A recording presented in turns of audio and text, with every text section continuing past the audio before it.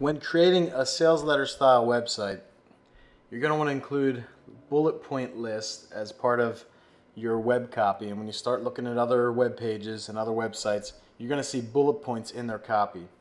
Now, I'm not going to go too in depth on how to write copy right now, but I just want to show you how to create bullet points as a final thought on some web design basics.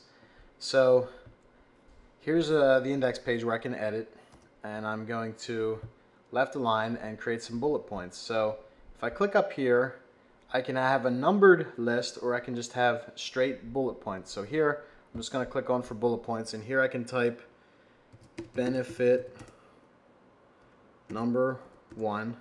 And then if I hit enter, I can it takes me to the next line and creates a new bullet. Benefit number two.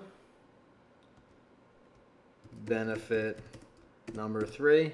And I can highlight these and I can go to format and I can go to the size and I can make this extra extra large and I'm just doing that mainly so you can see it. And I can make uh, the color red or let's make it green just to do something differently here. So I can make that green. And I can make the first one bold. I can do all the other formatting to these bullet points. So here's my bullet points. And generally if you're doing bullet points you want to make them all the same. Bold. And the same color.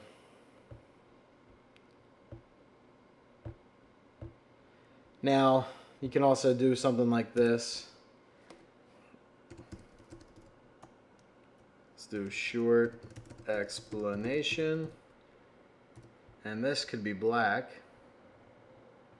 I might want to make that a smaller size too. So format, text color, make it black, hit OK, and I'll unbold it and I'll go to text size and go to just extra large, so it's a little smaller. So I could do that and this isn't the nicest looking bullet points. You have to play with these till they look nice. I'm just showing you some different formatting and I'm doing it quickly here just to show you how to do it. So you can also just pick the word explanation and you know you can highlight that any way you like. You can pick the highlighter here and we can highlight that yellow because remember I said yellow is usually a nice color to use for highlighting. And I can also go down if I want to if I'm at the last bullet I just hit enter and then here I hit backspace on my keyboard and it didn't let me do it. If I hit enter again, there it is. It undoes it for me. So here's the process. At the last bullet, I hit it. Now, I don't want to type benefit number four. I'm done. So I just hit enter again, and it finishes for me.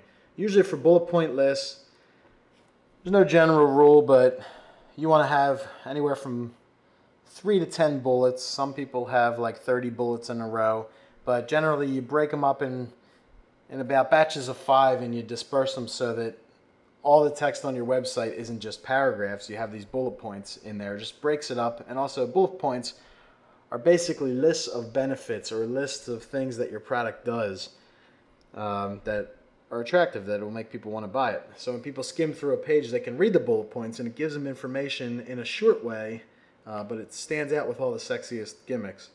And we can also hit create a numbered list, and it's just a numbered bullet point. So if you want a list of things like step one, step two, step three, we select the number here and you can use these for steps or just other benefits like if you wanted to call this the top five benefits then you could do like a like a David Letterman top 10 list. And then step two or you know we can have reasons in here.